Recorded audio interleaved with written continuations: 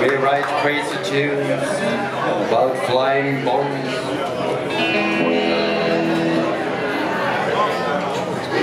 The next song is called To Be My Girl.